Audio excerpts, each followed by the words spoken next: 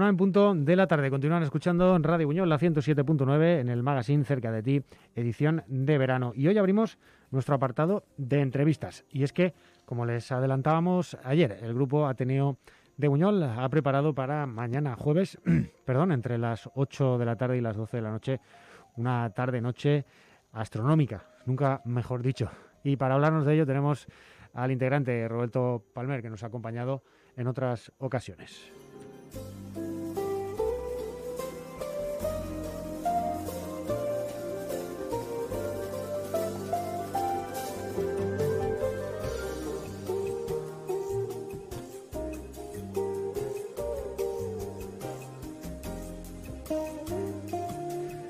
Ahora sí, teníamos ahí un problema con la escucha. Recibimos ya a Roberto. Buenas tardes, compañero, ¿qué tal? Hola, buenas tardes, Rodrigo. ¿Qué? Bueno, una vez más eh, que nos visitas por aquí, ya han sido varias veces. Y cuéntanos, eh, ¿qué tenéis preparado para mañana, mañana jueves, de 8 a 12? Parece que va a ser algo bastante completito, ¿no? Sí, bueno, eh, si las nubes nos dejan, pues entonces intentaremos hacer las actividades que tenemos planificadas. Pues las actividades las hemos dividido en cuatro bloques, uno dedicado al sistema solar, otro dedicado a la radioastronomía, mm, otro dedicado a, posicionar objetos en el cielo eh, solamente con visualmente a ojo a ojo desnudo que se dice y con prismáticos. Y luego el otro el cuarto bloque es el de telescopios. Entonces esas son en principio las, cuatro ideas sobre las que va a versar las actividades de, mañana, siempre que el tiempo lo permita. Sí, vamos a ver, vamos a ver cómo se porta porque últimamente está un poco que sí que no, que sí que no. Sí, el único, si llueve, evidentemente nada, pero si, si hay nubes, la única actividad que se puede hacer es la de radioastronomía, porque las nubes no impiden que, las ondas de radio eh, atraviesen las nubes. Cuéntanos pues eh, un poquito en detalle cada una de, estas actividades, qué se, cómo se preparan, eh, qué se va a poder ver y demás. Sí. Bueno, en primer, lugar, es decir, esto lo hacemos el Ateneo, ya, como te lo has dicho antes, ya llevamos varios años haciéndolo. Mm. Y entonces, pues bueno, pues eh, los que somos del Ateneo, sobre todo quien más participa en este tipo de actividades y la logística es Agustín Sierra y, y Vicente Hernández. Y luego en la parte así más técnica, más dedicado a, esto de la astronomía, pues eh, viene mi amigo Pepe Cebrián, es compañero del instituto, eh, que es un astrónomo aficionado como lo soy yo también, y Víctor Marzo, que también es un astrónomo aficionado. Y luego también este año, el año pasado vinieron, que es Ángel Sánchez y, y Rebeca Azulay, pero este año pues tienen coincide con una actividad en Macastre que también van a hacer sobre la, lluvia de estrellas. Entonces, en principio nosotros habíamos previsto este acto para hoy, pero como había otro acto en la Plaza de Armas, pues entonces lo, hemos, lo tuvimos que cambiar para mañana, pero perdemos a, Ángel y a, y, a Rebeca en principio. Pero bueno, pues al año que viene, al año que viene será. Bueno, sin problema. Entonces, eh, pues eh, nos has detallado, cuéntanos un poquito más. Eh, sí, sí, bueno, la intención es eh, siempre eso, en principio, siempre que, que las nubes nos lo permitan. Sí, sí. Y es, en principio, hemos quedado a las 8, o sea, bueno, de forma general no va a ser como el año pasado. El año pasado los que, asistí, los que asistieron pues lo organizamos de forma muy estática, es decir, una charla sobre fotografía, sobre astrofotografía, una charla sobre eh, la lluvia de, estrellas, los meteoros, lluvia de meteoros y sobre los telescopios. Entonces, la verdad es que fue demasiado estático y otras cosas que eran más de interés porque hubo gente que vino con sus prismáticos, pues entonces no se pudo no se pudo hacer. Entonces, este año vamos a intentar que la cosa sea un poquitín más dinámica. Entonces, lo que voy a decir ahora de organización es más o menos, es decir, más o menos va a ser así.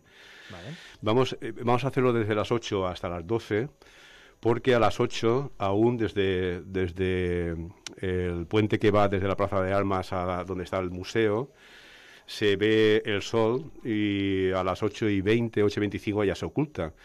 Y entonces, como el sol ha empezado con una actividad solar, el año pasado ya empezó con una nueva actividad solar, ya han ido apareciendo manchas, lo que pasa es que ahora no hay, no hay ninguna, ya veremos si, si mañana aparece alguna y la podamos ver. Entonces, por eso vamos a empezar a las 8, para, entonces, para ver primero el sol, haremos la proyección del sol con un telescopio, ampliaremos la imagen y si hay alguna mancha, pues bueno, veremos alguna, alguna mancha.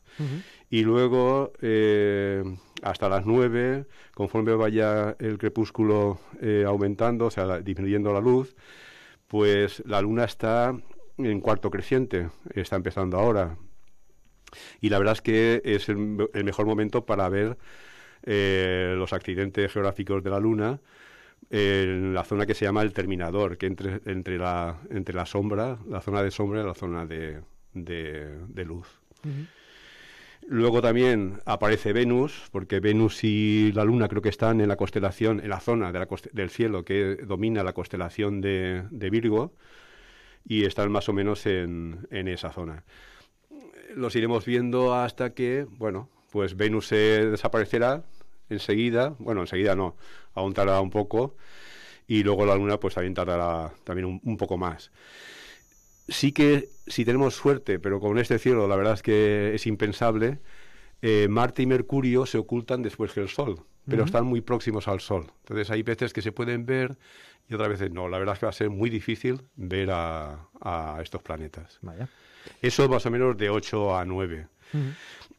a partir de las 9 pues intentaremos hacer algo sobre telescopio. sí que hay gente que me ha, comentado, no sé si vendrá o no vendrá mañana, que eh, pues a lo mejor ha comprado un telescopio a su hijo o a su hija, pero que no saben eh, cómo montarlo, cómo... Entonces, en principio, esta actividad de sobre telescopios versaría primero en ver los diferentes telescopios que vamos a llevar, que en principio yo creo que vamos a llevar eh, de, dos, de dos o tres tipos como mucho. Y luego algunos llevaremos con... Eh, el telescopio se monta, nunca mejor dicho, sobre una montura, sobre el caballete, pero luego sobre una montura que esta montura pues hay que saber cómo colocarla y entonces explicaríamos cómo colocarla y cómo colocar el telescopio para empezar a mirar algún objeto en el cielo. Entonces sería un poco como tipo taller, pero bueno, eh, a petición del público sería. Muy bien. ¿Vale? Luego, eh, me llama a mí especialmente la atención el tema de la, de la radioastronomía, el radiotelescopio. Vale, ya. Esa me lo imaginaba que este año se nos había ocurrido. Digo, va, vamos a ver si montamos algo de radioastronomía. Hace años en el instituto, eh, un grupo de trabajo de alumnos y yo hicimos un proyecto para oír eh, las ondas de radio que emite eh, el planeta Júpiter. Todos los planetas emiten, el Sol emite también. Claro, pero la más fácil de detectar es esta porque es muy, muy intensa, es una frecuencia muy intensa. Nosotros cuando hicimos este, esta experiencia eh, detectamos, registramos la, esta señal en, en 21 megahercios. Entonces hicimos la antena que tocaba, eh, y entonces hemos querido un poco reproducir lo que hicimos en aquel momento. Por eso ah, yo pensaba que Ángel estaría con nosotros, no puede estar, pues bueno, pues porque Ángel era, un, eh, era uno de los estudiantes que formaba parte del grupo. Bueno, entonces eh, hablé con, con, Miguel Cortés, eh, que es radioaficionado, y entonces se ofreció a ha hecho la antena. Anoche estuvimos intentando a ver si captábamos, pero lo que pasa es que es muy selectivo, es porque eh, tiene que tener una posición determinada Júpiter, su luna, una de sus lunas, eh, Io, eh, Io, así como suena, es eh, una luna que es volcánica, entonces emite, tiene mucha, una, una, actividad volcánica muy activa y entonces emite mucho material a la atmósfera, entonces ese material se va a ver si es que no quiero tampoco ser demasiado técnico. Eh, se va convirtiendo en una forma de la materia que se llama plasma. Ah, y el plasma, pues es una mezcla pues de átomos, de iones, de electrones, de protones. Es una mezcla que se puede reconducir a través, mm, como el agua se conduce por una tubería, pues el plasma se conduce a través de tuberías magnéticas, tuberías eléctricas. Y entonces lo que ocurre entre el satélite y Júpiter es una conexión de esa materia y entonces cuando se acelera, entonces emite una radiación que es la que se recoge aquí en la Tierra. Y esa radiación es la que queremos captar mañana. Muy bien. Que es la única que, si está en esas condiciones, porque las había visto para hoy, para mañana no las he visto todavía bien, pero para hoy, en principio, la, es la posibilidad de recibir alguna señal de, del sistema Io Júpiter eh, estaría a partir de las diez y media de la noche o por ahí. Mañana no sé, mañana tengo que mirarlo. Bueno, más, o menos lo, tenéis montado ya con previsión del orden de las cosas, ¿no? Para las actividades, pues a tal hora conviene más hacer esto. Sí, sí, sí, sí, claro. A otra. Perfecto. Pues alguna cosita más que deban saber eh, la gente interesada que quiera acudir, eh, ¿qué debe llevar, por ejemplo? Eh, sí, vale. Pues en principio, aquellos que tengan telescopio y porque ayer vi también a, otro exalumno y me dijo que igual asistía con su telescopio y que él sí que sabe manejarlo y también se podría formar parte de la gente, de las personas que enseñan a cómo se maneja un telescopio. Bueno, pues el que tenga telescopio que se lo traiga si quiere.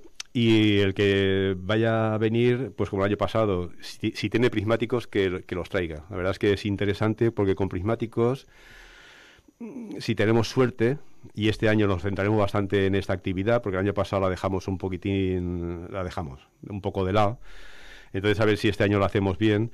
Y con los prismáticos se pueden ver mm, diferentes colores de estrellas, estrellas rojas, estrellas más azuladas, eh, podemos ver sistemas de más de una estrella, que es lo que se llama dobles estrellas, estrellas dobles. Podemos ver alguna estrella que es variable. No vamos a ver la variación del brillo de la estrella mientras que la veamos, pero bueno, que, que sepamos que hay algunas estrellas variables que han servido, por ejemplo, para dimensionar el universo, como son las cefeidas. Entonces, como la constelación Cefeo sí que va a estar visible, sí que veremos alguna estrella tipo que la que la que permitió determinar el tamaño del universo, que es la, eh, una estrella que se llama Delta Cefeida, las Cefeidas. Entonces veremos eso y luego veremos pues eh, cúmulos estelares. Cúmulos estelares, los que más posibilidades tenemos de ver son cúmulos que se llaman globulares, porque hay otros que son cúmulos abiertos. Los cúmulos abiertos son muy jóvenes y los cúmulos globulares son bastante, bastante viejos. No voy a decir eh, eh, la, la, edad, pero creo que el factor de viejo creo que es mil, eh, un factor de mil. si uno es un millón de años, otros mil, bueno, ya voy a decir una animal, no digo el número, sino me, me paso. Entonces, sí que hay un cúmulo que sí que veremos sí o sí, porque casi a simple vista se ve, que es M13. M es una, es una forma de designar a, a, los objetos. Mm. Y entonces ese objeto es un cúmulo globular. Eh, la idea, eh, como vemos, es un poco, estamos en el sistema solar, luego vamos un poco más allá, vemos las estrellas, y luego vamos un poco más allá y vemos cúmulos globulares que están, como dijéramos, en la periferia, pero en la periferia de dónde? De la galaxia, de nuestra galaxia que es la Vía Láctea. Entonces, la Vía Láctea, imaginanos eh, como un platillo volante, el típico platillo volante que luego en el centro está bomba, pues entonces los, cúmulos globulares están en esa parte abombada y los cúmulos abiertos están en la parte, en la parte plana. Entonces, cúmulos eh, abiertos, pues Sagitario está saliendo, a las 10 ya ha salido, ya ha salido de sobre el horizonte.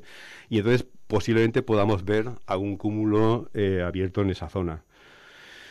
Y luego veremos alguna nebulosa. Las nebulosas son más complicadas de ver, sobre todo en, estos cielos con tanta iluminación. Y lo mismo, pues las nebulosas las vamos a ver en la zona, en la constelación de, Sagitario. Muy bien, pues yo creo que está todo dicho, ¿no, compañero? Sí, yo creo que sí. Yo la verdad. Luego lo que pasa es que papeles no vamos a dar ninguno, mm. entonces eh, si eso en la página web sí que hay, hay sitios de mucho interés. Hay un mapa, por ejemplo, para el mes de agosto, he intentado buscar uno que ah, lo hacía la Universidad de Valencia, pero pasa que no lo encuentro. Y he encontrado otro, lo que pasa es que está en inglés. Pero está muy bien. La verdad es que está muy bien porque pone estrellas eh, que se ven a ojo, desnudo, eh, objetos que se ven con, prismáticos y objetos que ya necesitas un telescopio. Entonces, la verdad es que está bien. Tampoco es un inglés muy... es un inglés técnico que es fácil de, leer. Si eso ya dejaré la, eh, la, dirección en la página del Ateneo y ya está. Perfecto. Muy bien, pues recordamos mañana a las 8 de la tarde en la Plaza de Armas del Castillo, a disfrutar de una noche Maravillosa, a los aficionados. qué, optimista que eres.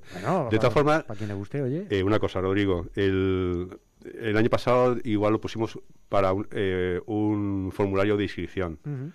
Entonces, como estamos en la época que estamos y como estamos, entonces hay que el aforo está limitado a 200 personas. Entonces sería conveniente o bien a través de, de internet el formulario que tiene la página del Ateneo de Buñol rellenarlo o bien cuando se asista, pues simplemente eh, tomar nota y ya está. Perfecto. que se asiste. Muy bien, pues eh, Roberto, una vez más, muchas gracias por eh, haber venido aquí a, bueno, a, informar de, de, vuestros eventos, que siempre son apasionantes para quien le guste todo esto. Venga, vale, muchas gracias. Hasta la próxima. Vale, hasta luego.